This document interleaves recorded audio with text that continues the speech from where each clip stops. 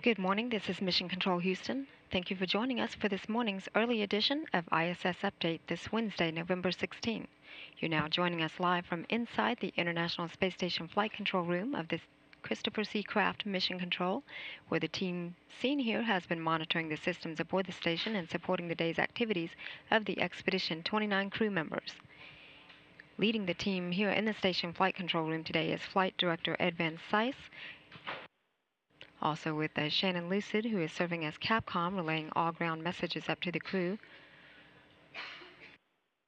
Aboard the orbiting complex, the Expedition 29 crew has grown from three members to now six crew members at the top of the morning. The Soyuz TMA-22 spacecraft carrying NASA astronaut Dan Burbank and Russian cosmonauts Anton Shkaplerov and Anatoly Ivanishin docked to the International Space Station's Poisk Mini Research Module at 11:24 p.m. Central Time last night. The trio had launched from the Baikonur Cosmodrome in uh, Kazakhstan at 10:14 p.m. Central Time this past Sunday. After the hatches between Soyuz and station were opened at 1:39 a.m. Central Time this morning. Expedition 29 Commander Mike Fossum and uh, Flight Engineer Satoshi Furukawa of the uh, Japan Aerospace Exploration Agency and the Russian cosmonaut Sergei Volkov welcomed the new flight engineers aboard their four-month stay on the orbiting complex. The six station crew members will have a little less than a six then a week together as the Expedition 29 crew before Fossum, Furukawa, and Volkov head home Monday aboard the Soyuz TMA-02M spacecraft that brought them to the station on June 9th.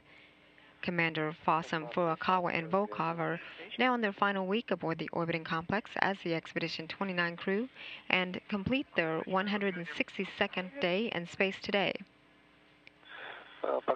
Regarding Cascade, I completed the transfer of the equipment. The time is 12:49. This is when I placed the equipment into the freight.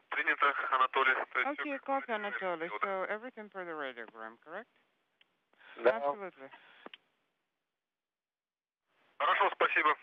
Good. Thank you very much.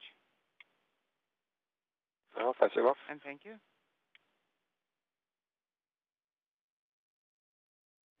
Commander Fossum Furukawa and Volkov will depart and mark the end the, mark the beginning of Expedition 30 under the command of Burbank.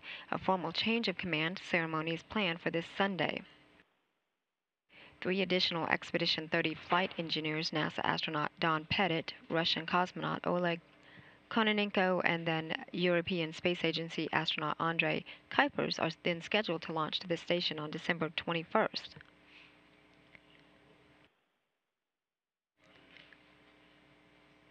NASA astronaut Dan Burbank is making his third visit to the station. His previous two visits were both aboard Space Shuttle Atlantis during the STS-106 mission in September of 2000. He helped prepare the station for its permanent crew. During STS-115 in September 2006, he had conducted a 7-hour, 11-minute spacewalk that completed the uh, truss installation, activated the solar alpha rotary joint, and enabled the solar arrays to be deployed. This is the first spaceflight for both Shkaplerov and Ivanishin.